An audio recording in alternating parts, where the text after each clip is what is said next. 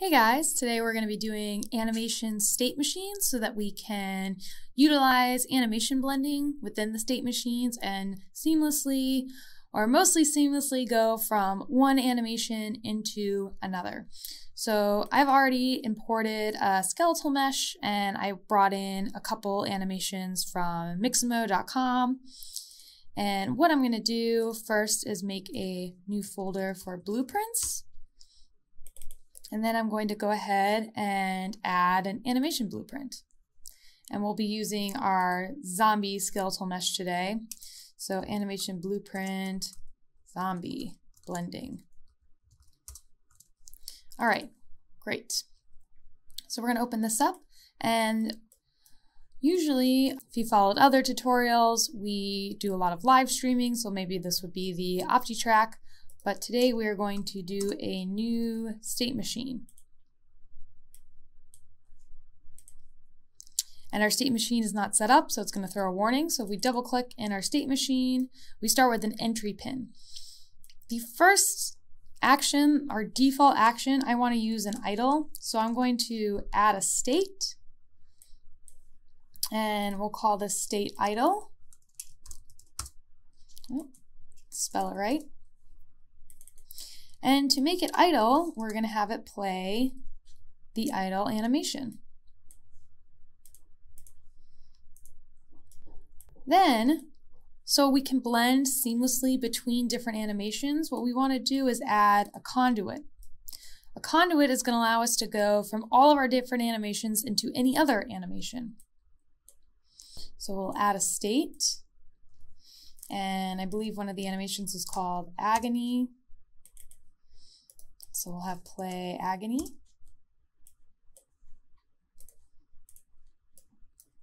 And then we have, I believe we have stumble backwards.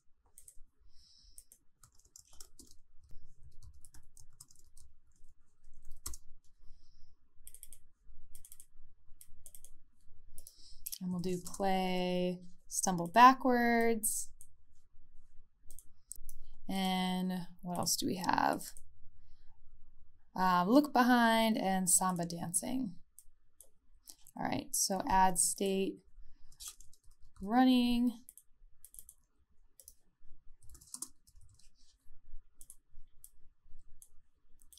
And samba dancing.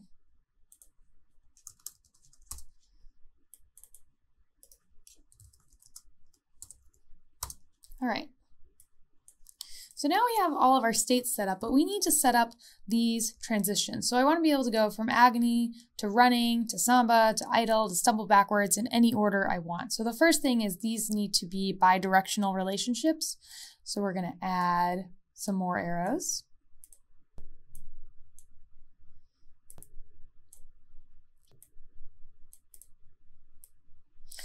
Trick is to start in that gray border, or it does not work and to start from the correct node. Okay, great. So now I have these bidirectional relationships, but I need to specify when it's going to go to agony, when it's going to go to stumble backwards, when it's going to go to running. And to do this, we're going to use a data type called an enumeration. This is found in lots of programming languages, and we use it in Unreal as well. So I'm actually going to create this enumeration under blueprints enums actions. And we'll call this actions. And enums is just a list of different states. The computer is going to just read this as a list of numbers, but we're going to give this a more human readable name and list out all of our different actions. So we have agony, uh, stumble backwards. So I can give these names anything I want, but it will just make my life easier if they match my states because I'll remember them. Uh, samba and running. Great. And then we're going to bring that into our animation blueprint. So under variables, we look under, I think I call this actions, enum actions. There we go. And we'll call this actions. Great. So going into agony, I only want to do this if actions equals agony. So I'm only going to enter the agony animation if that's what this enum equals.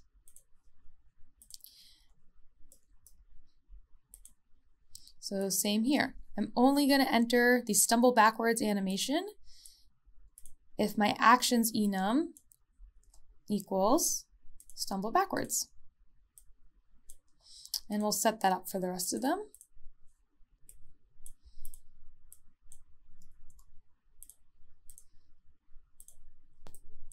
Oh, that's running. And we're to have a warning right now because we haven't finished our state machine, so don't worry about it. We will finish this.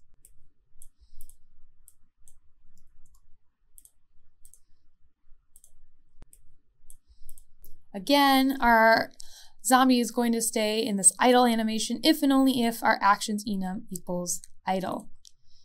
Okay, great. So now if we're going to leave agony, that means we're going into a different animation and that's where we're going to hit this boolean or this logic check. So just to leave the animation, we don't need any additional logic check. So if we want to leave the animation, we're not going to stop it. So we're just going to say that's fine.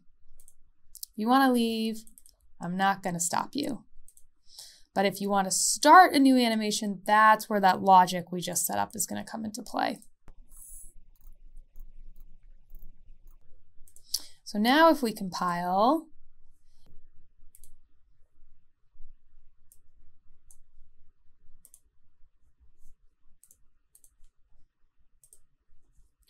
So now we have actions, and if we're just editing the preview, we can go ahead and switch them.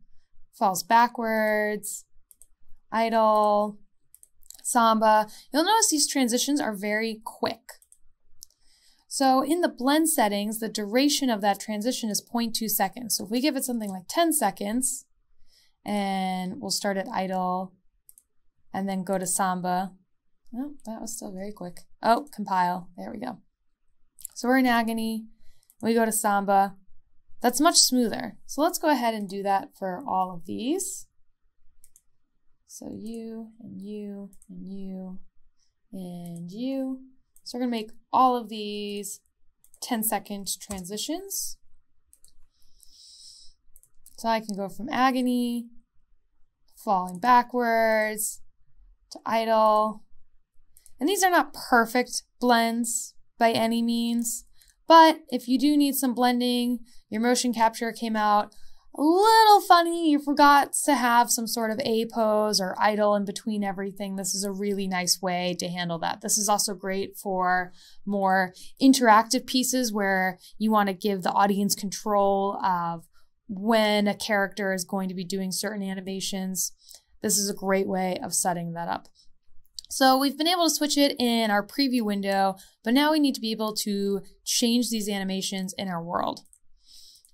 So we can close this and we're gonna bring this animation into our world.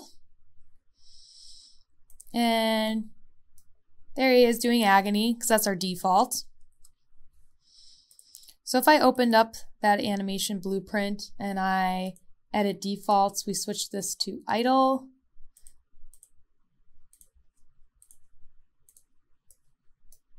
Now they'll start an idle. I kind of like that better.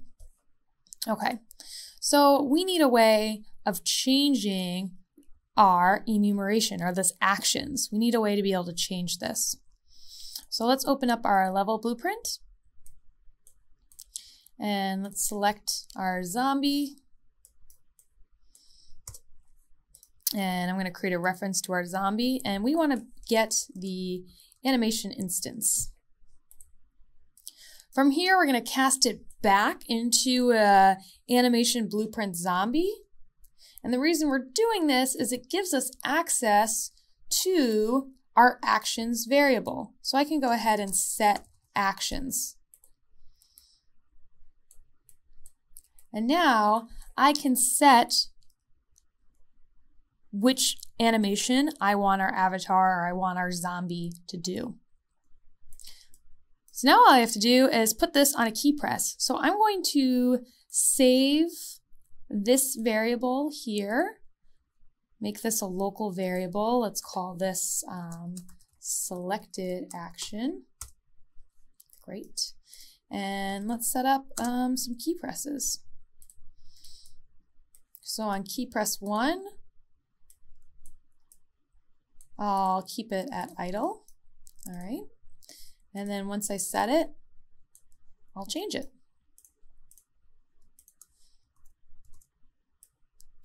And I'll just do that five times.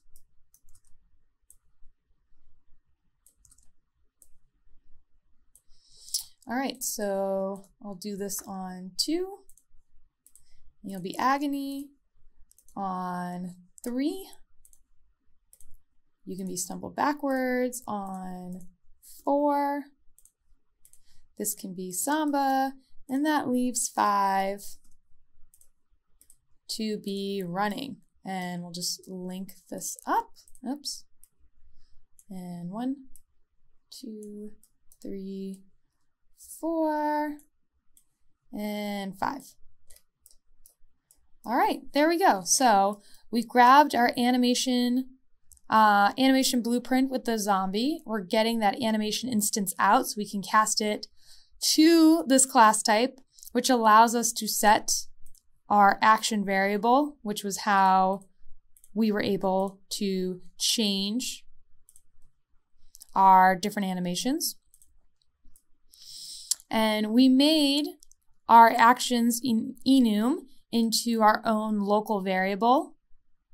And then we're just setting our local variable with key presses, which is then triggering this change in our animation blueprint. So let's see if that actually works. So I'm to hit play. It's going to be an idle. And if I hit two, there we go. We have agony. Three, it's falling. Four, a samba. Falling was so much fun. I'm going to do it one more time. So I hit three. If I hit four, back to samba. Five is that run. And if I hit one, it goes back to idle. All right, I'll hit the escape key, and that is it. That is how you can set up an animation state machine and use key presses to utilize animation blending and switch between different animation assets. All right, hope that was helpful and you enjoyed.